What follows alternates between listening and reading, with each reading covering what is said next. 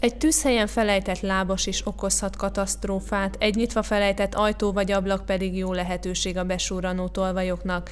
Milyen jelek utalnak szív problémákra? Ilyen konkrét példákon keresztül mutatták be a tűzoltóság, a rendőrség és a mentők szakemberei, hogyan tehetik biztonságosabbá mindennapjaikat az idősek, mi az, amire figyelniük kell. A kiszolgáltatottság a kor előre haladtával egyre nő. A bűnözők gyakran használják ki az öregek lankodó figyelmét és feledékenységét amikor a különböző szolgáltatóknak átszázott egyedek, személyek keresik meg őket, és megpróbálják különböző trükkös dolgokkal, hogy pénzt hoztak vissza, vissza kell adni, kicsikarni tulajdonképpen az eldugott, vagy nem is az eldugott, a megtakarított és otthon tartott pénzüket, ugye kifigyelik őket, elterelik a figyelmüket és meglopják így módon őket.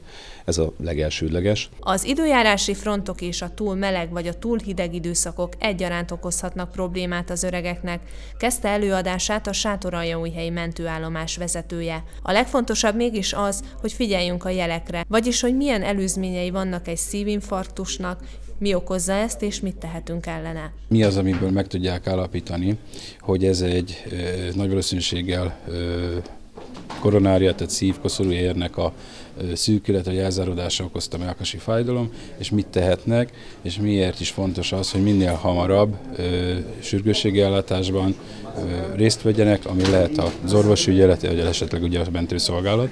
Szénmonoxid mérgezés, kájhából kieső parázs okozta tüzek. Az idősek esetében számos veszélyforrás van, ami a tűzoltóság beavatkozásával is végződhet.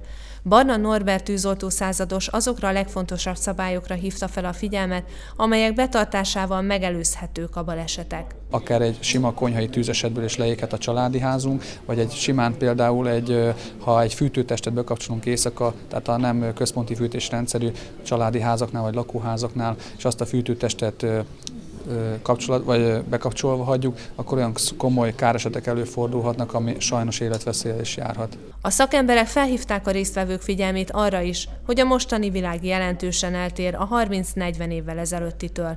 Ma már nem szabad beengedni a lakásba például a házoló ügynököket, adománygyűjtőket sem, de egyes modern vagy nagy teljesítményű háztartási eszközök is komoly veszélyforrást jelentenek, ezért azok szakszerű használatát meg kell tanulni.